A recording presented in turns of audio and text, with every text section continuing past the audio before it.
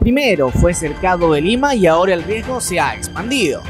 Luego de registrarse alrededor de 16 casos de dengue en la unidad vecinal de Mirones, otros distritos de Lima Metropolitana han sido declarados en alerta epidemiológica.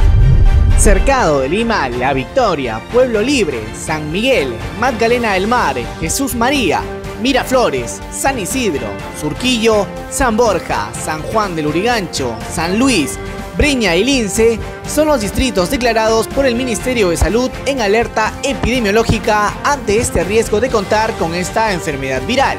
Se recomienda un constante aseo en las casas, no usar agua en los floreros, limpiar las larvas y evitar en gran medida tener agua almacenada. Tengamos en cuenta estas recomendaciones ya que esta enfermedad puede estar más cerca de lo que parece.